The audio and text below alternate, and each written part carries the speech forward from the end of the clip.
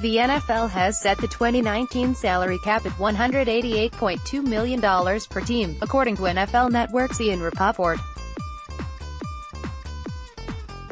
The number is slightly lower than the $190 million estimates that had been previously used, but represents an $11 million increase from 2018's cap. The $188.2 million will be the base number for all 32 teams, but rollover from last year as well as other factors from the league could lead to a team having more or less than $188.2 million to use this season.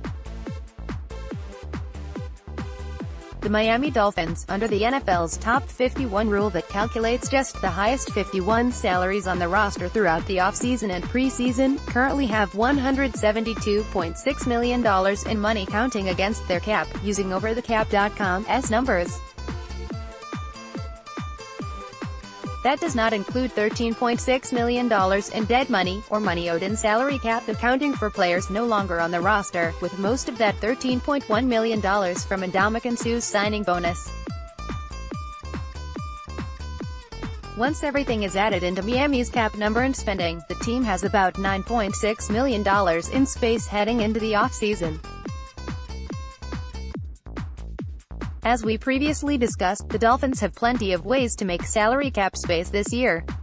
Miami could look to cut players this offseason, even eating more dead money in order to create savings.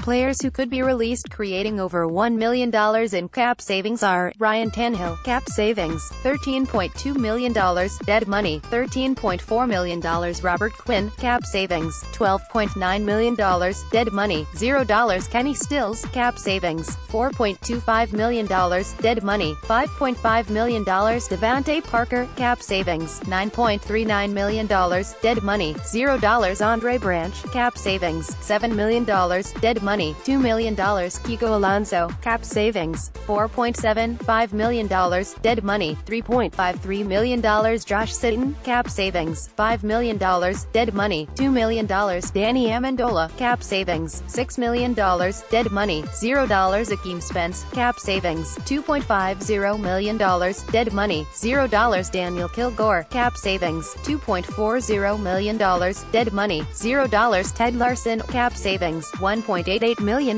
dead money, $416,668 Xavier Howard, cap savings, $1.29 million, dead money, $664,189 Walt Aikens, cap savings, $1.40 million, dead money, $0 Nick O'Leary, cap savings, $1 million, dead money, $100,000 Some of those players are expected to be released, including Quinn, Parker, and Branch.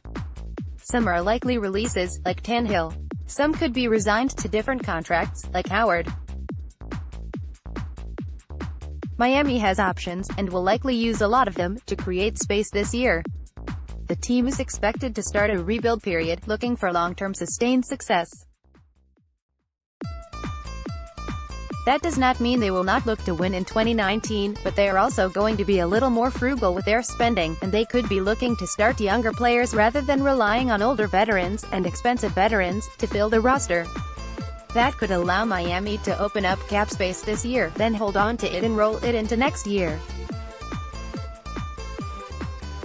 They could look to grab a key veteran or two this year, then continue to look to the younger players to build. Whatever the case, the Dolphins have work to do to create cap space.